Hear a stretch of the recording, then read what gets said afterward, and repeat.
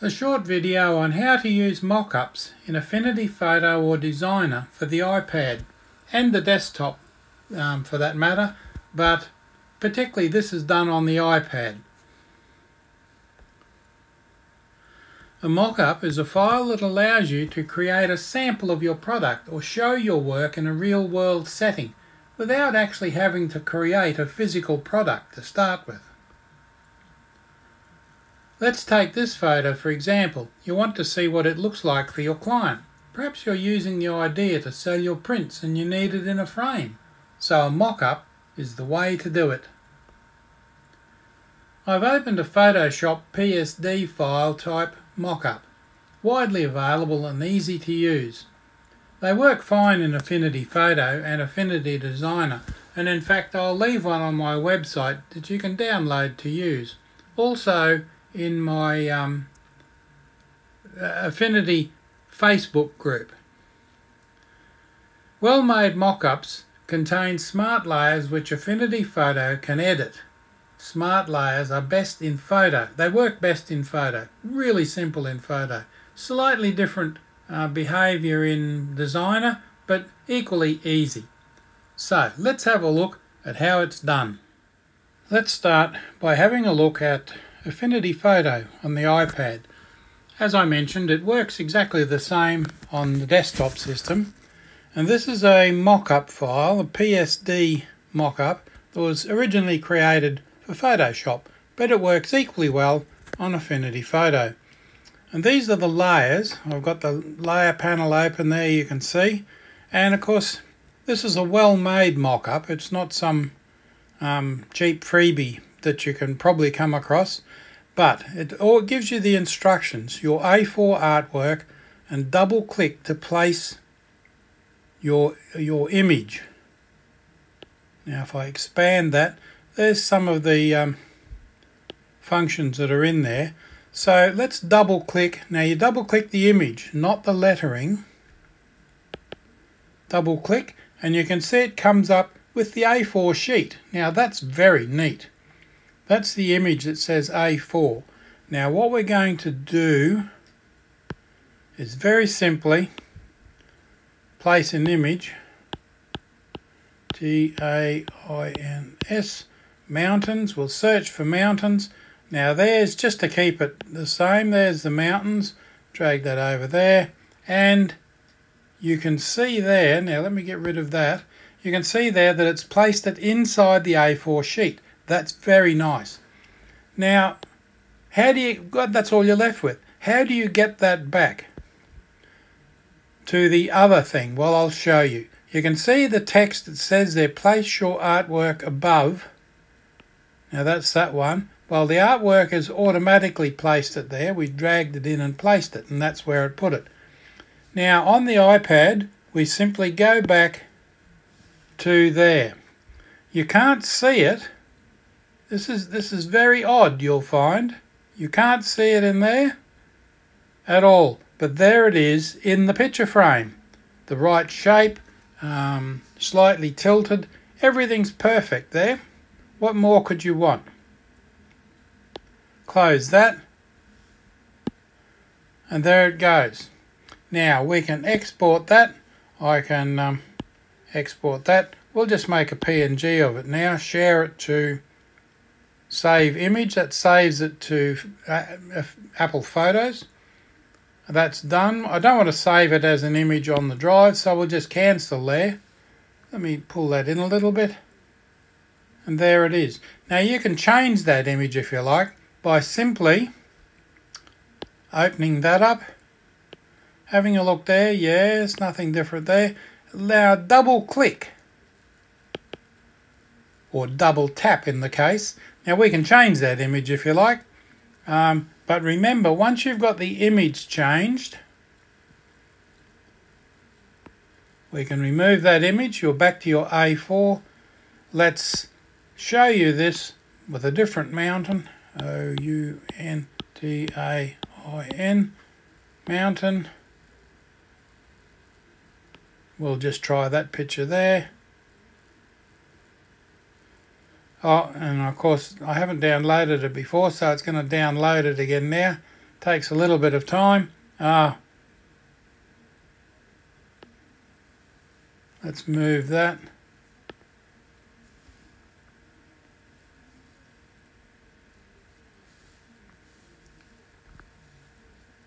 And you can see that that's a very large image that I've placed in there.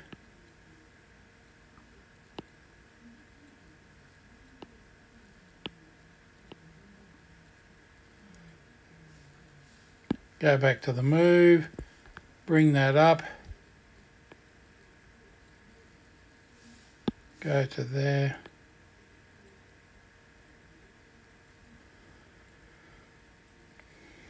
Go to there, let's get rid of that. I could probably have been a little more selective with the image, but there's the image ready to go in the frame. Now you can see it's as it was before, it's just those two images there. Let's go back to there and there's the image you selected in the frame. Now isn't that wonderful? You can export that and once again you've got two images. We'll just go back to there and you can see that it's still there. Let's close that. Where's the image we exported? Now there's the first image I used there's the mock-up. Perfect. Show your client, um, put it on Etsy or wherever you happen to be selling your prints, image of the frame, and of course you can change the frames, do whatever you like. Now that's done in Affinity Photo on the iPad. It'll be exactly the same on the desktop. Just double click or double tap in that image area and put in the image you want. Now here we are in Affinity Designer for iPad.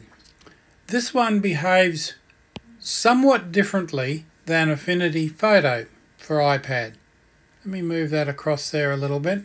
Probably reduce it in size so you can see the whole image. But we've still got our A4 image there.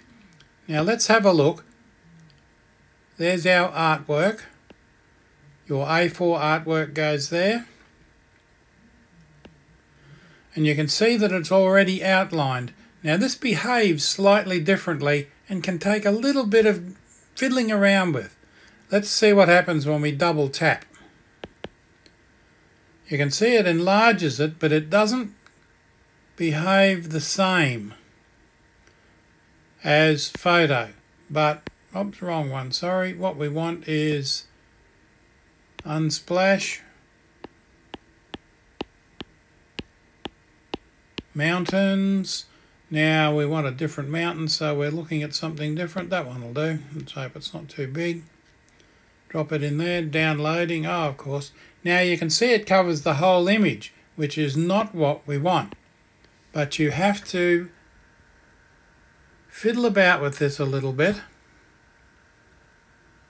You can see that that is there. Double click on there to highlight that.